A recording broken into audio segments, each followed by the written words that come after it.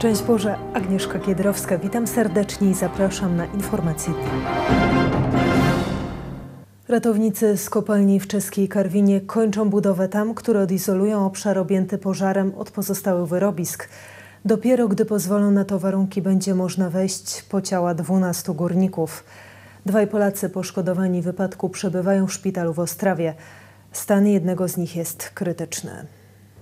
Do zapalenia i wybuchu metanu w kopalni doszło w czwartek o godzinie 17.16. Górnicy znajdowali się 800 metrów pod ziemią. Zginęło 13 osób, w tym 12 Polaków i jeden Czech. Do kopalni przychodziły dziś rodziny górników i odbierały należące do nich rzeczy osobiste. Przed kopalnią płyną setki zniczy, są też wiązanki kwiatów.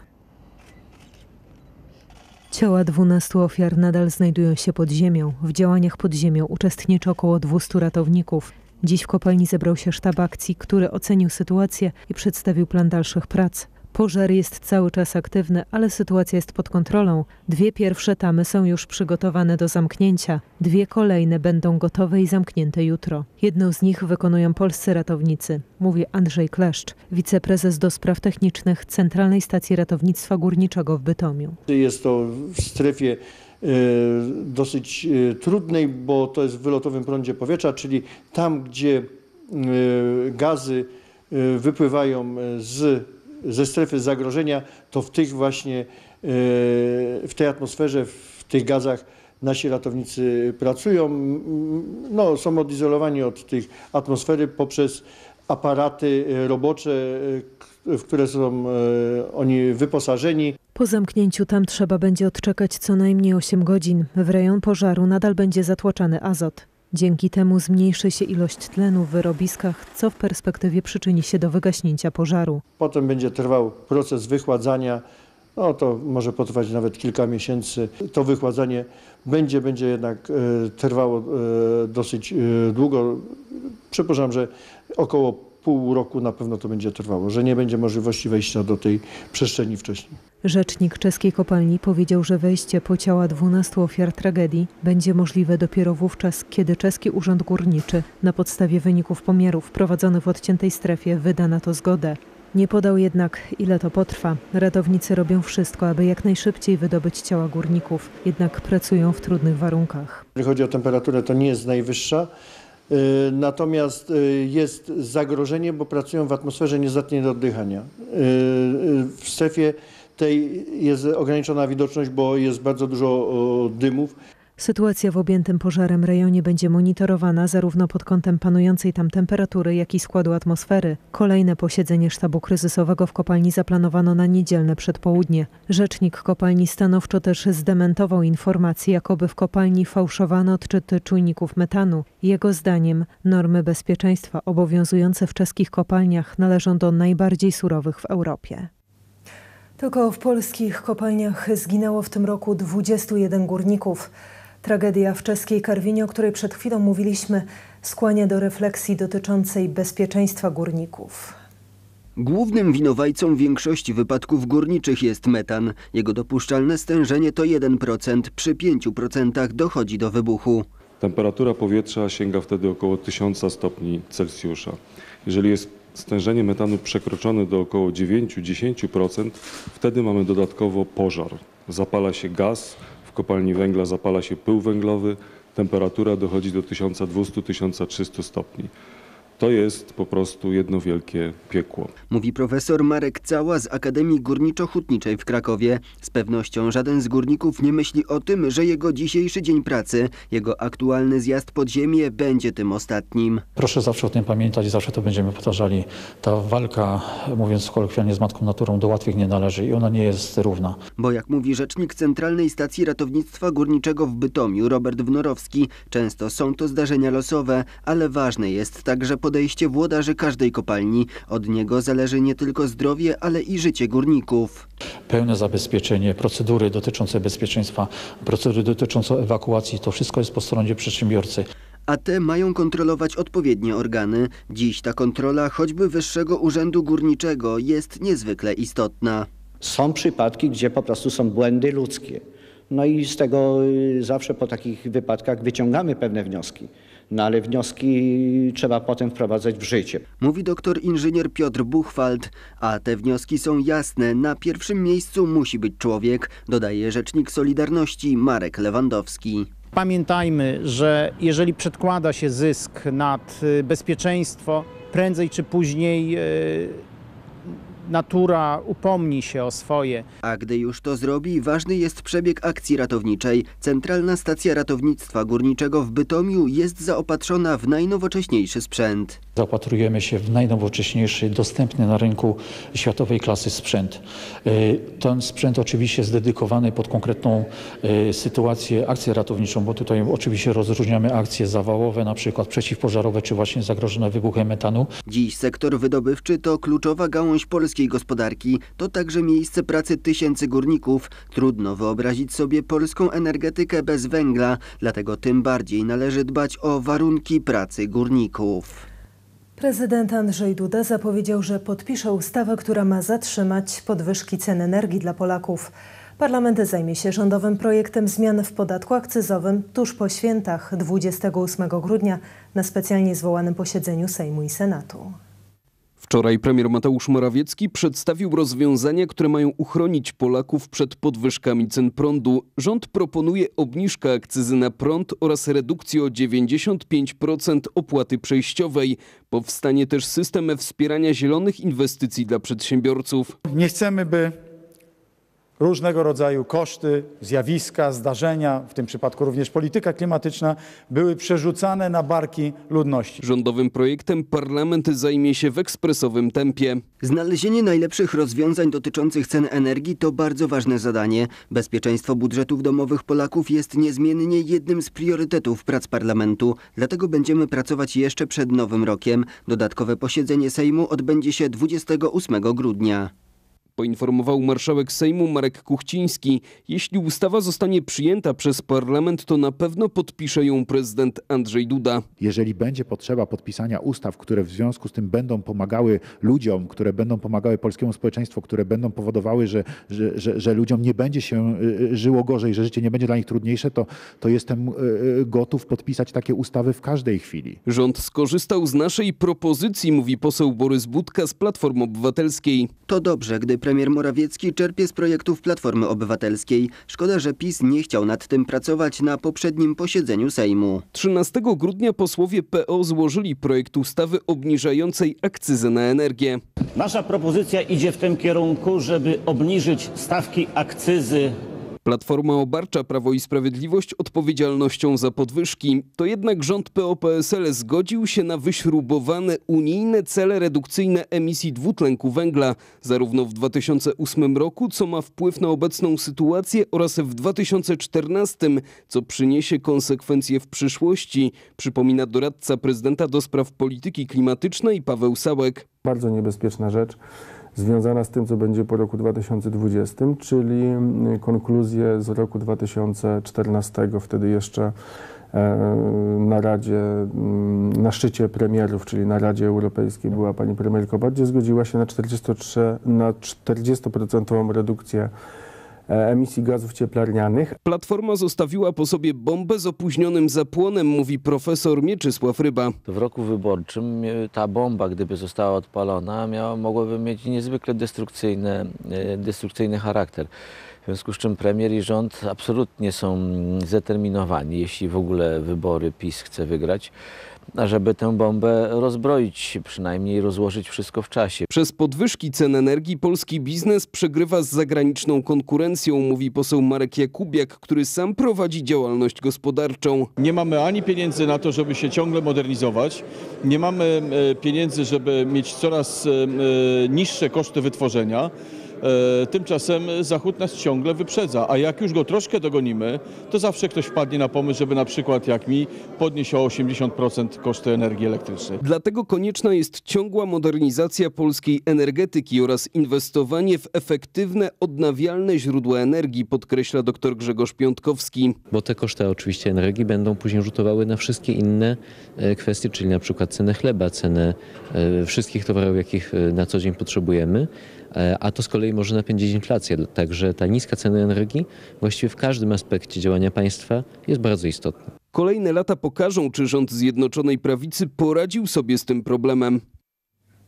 Czy odznaczenia nadawane przez prezydenta Polski mają charakter państwowy czy też polityczny? Odpowiedź na to pytanie nie jest prosta. Zależy to bowiem od tego, kto jest aktualnie prezydentem. Przekonał się o tym wybitny muzyk Józef Skrzek, który z rąk prezydenta Andrzeja Dudy odebrał medal stulecia odzyskanej niepodległości.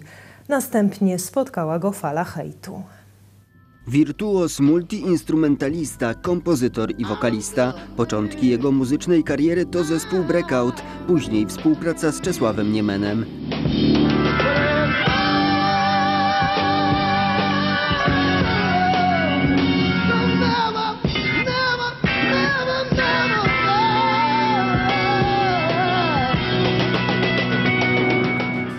Józef Skrzek przez większość swojej muzycznej aktywności tworzył w zespole SBB.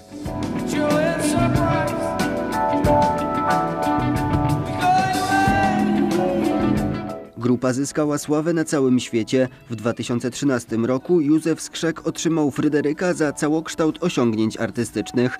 Jest także laureatem wielu innych prestiżowych nagród. Otrzymał złoty medal zasłużony kulturze Gloria Artis. W tym roku prezydent Andrzej Duda uhonorował go medalem stulecia odzyskanej niepodległości. Pan Józef Skrzek, muzyk, kompozytor, multiinstrumentalista, lider zespołu SBB. Współpracował m.in. z zespołem Breakout oraz Czesławem Niemenem. Po przyznaniu tego odznaczenia w kierunku Józefa Skrzeka popłynęła fala internetowego i medialnego hejtu. Atakowano także rodzinę muzyka tylko dlatego, że przyjął medal z rąk prezydenta Andrzeja Dudy. Nikomu nie życzę tego, co zaczęło się dziać w internecie i mediach. Nigdy w życiu nie widziałem i nie przeżyłem czegoś takiego. Podobnie inni członkowie mojej rodziny. Powiedział Józef Skrzek na łamach jednego z portali internetowych. Wywiera się na niego wpływ, że to tak nie trzeba, że to tak nie wolno, a przecież stulecie... Że to, że to nie od tego prezydenta. Nie od tego, ja nie wiem, to, są, to, są, to jest właśnie wywieranie takiej presji, żeby, żeby potem oddać bo właśnie taki prawdopodobnie miał być cel ataku. Józef Skrzek jednak medalu prezydentowi nie oddał, przekazał go natomiast na rzecz jednej ze szkół podstawowych. W związku z licznymi pytaniami informuję. 21 grudnia 2018 roku o godzinie 10 przekazuje medal stulecia odzyskanej niepodległości dzieciom szkoły nr 13 w Siemianowicach Śląskich imienia Józefa Skrzeka, harcmistrza, nauczyciela, żołnierza. I nawet jeśli przekazanie medalu szkole nie jest wynikiem hejtu, a wcześniejszej decyzji muzyka, to niesmak pozostaje, bo kultura czy muzyka nie ma barw politycznych, a odznaczenie nadawane jest za szczególne przysłużenie się krajowi. Bronisław Komorowski był prezydentem Platformy Obywatelskiej. Dostałem od pana prezydenta Komorowskiego e, krzyż kawalerski. Nie jako działacz partyjny, tylko jako artysta. I cóż, czy miałem oddać ten krzyż, bo, bo mi się, bo prawda, bo nie jestem, prostu nie, Platforma nie jest, nie, nie jest moją partią, którą, którą popieram. Nie. Ja dostałem order od prezydenta Rzeczpospolitej. I nie ma żadnego znaczenia, skąd on pochodzi, z jakiej partii. Mówi artysta Krzysztof Cugowski. Muzyka ma w sobie wyjątkową moc, łączy pokolenia, łączy ludzi, a państwowe ordery powinny być wyrazem uznania wobec tych, którzy właśnie taką muzykę tworzą.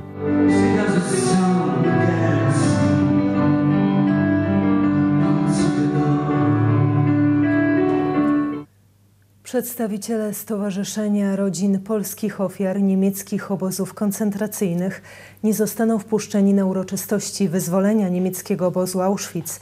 Taką decyzję podjęła dyrekcja Muzeum Auschwitz.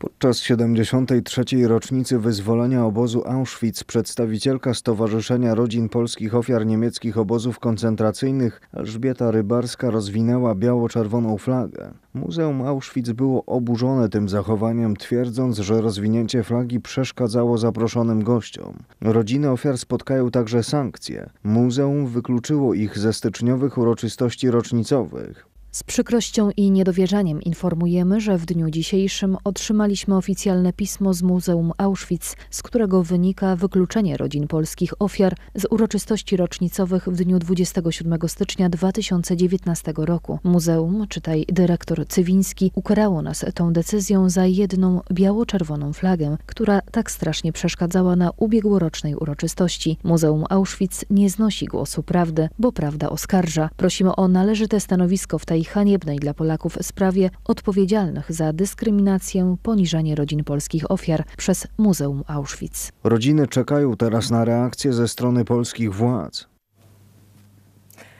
Nie tylko dzieci, ale chyba także dorośli liczą co roku na białe święta. W tym roku jednak zamiast śniegu pojawi się deszcz. Policja apeluje o ostrożność i przypomina o bezpiecznym podróżowaniu. Ciepły weekend spowoduje wytopienie się pokrywy śnieżnej. Biały puch będzie jedynie w górskich miejscowościach, przykład w Zakopanem czy Krynicy. Dlatego w tym roku szanse na śnieg święta są raczej niewielkie, mówi Krzysztof Woźniak z Instytutu Meteorologii i Gospodarki Wodnej w Gdańsku. Możemy się spodziewać, że w nocy będą temperatury ujemne i będzie powodowało to oblodzenie e, dróg i nawierzchni. Natomiast w dzień będą, będą temperatury dodatnie do około plus 2, plus 4 stopni, co będzie spowodowało też to, że jeżeli w nocy spadnie jakikolwiek śnieg, to on ulegnie roztopieniu. W Wigilię spodziewane jest ochłodzenie, akcentuje Łukasz Kiełc z Krakowskiego Instytutu Meteorologii i Gospodarki Wodnej. Początkowo jeszcze w dzień temperatury dodatnie, natomiast w ciągu dnia będziemy obserwować spadek temperatury. Będzie się ochładzać. Opady deszczu będą przechodzić w opady y, śniegu stopniowo. W ciągu dnia będą przechodzić w opady śniegu. Noc z poniedziałku na wtorek będzie chłodna. Niemalże na całym obszarze Polski temperatura będzie ujemna. Słabe opady śniegu możliwe na, na wschodzie. Na zachodzie nie powinno padać. E, mogą się też pojawić tam jakieś większe przejaśnienia. Na wschodzie więcej chmur. Zdecydowana przewaga chmur będzie w pierwszy i w drugi dzień świąt. Na wschodzie słabe opady śniegu. Temperatura na całym obszarze Polski lekko powyżej zera. Tutaj temperatury takie 1, 3, może 4 stopnie, nieco dalej na, na zachodzie, na północnym zachodzie Polski. W związku z pogodą na drodze mogą panować niebezpieczne warunki. Policja apeluje o ostrożność i zachowanie odpowiedniej prędkości za kółkiem. Są takie miejsca w Polsce, gdzie zwłaszcza nad ranem ta temperatura przy gruncie jest y, dość niska, może być koło zera, nawet nieco poniżej zera. To sprawia, że ta cieniutka warstwa wilgoci, która w ciągu dnia na jezdni jest, ona zamarza i na tym tak zwanym czarnym lodzie powstaje y, lód, który jest niewidoczny gołym okiem, a niestety sprawia, że praktycznie tracimy kontrolę nad pojazdem. Mówił komisarz Dawid Marciniak z Komendy Głównej Policji. W okresie świątecznym nad naszym bezpieczeństwem będzie czuwać kilka tysięcy policjantów. Wspierać ich będzie żandarmeria wojskowa oraz Straż Graniczna. Mając na względzie nasze bezpieczeństwo, pamiętajmy także o tym, by kiedy nie będzie nas w domu, zamknąć okna, zakluczyć drzwi, a jeśli to możliwe, poprosić sąsiadów, by czasem spojrzeli, czy nikt nieproszony nie znajduje się koło naszej posesji. I to wszystkie wiadomości w głównym wydaniu Informacji Dnia. Zapraszam Państwa jeszcze serdecznie po apelu jasnogórskim o 21.20. Do zobaczenia.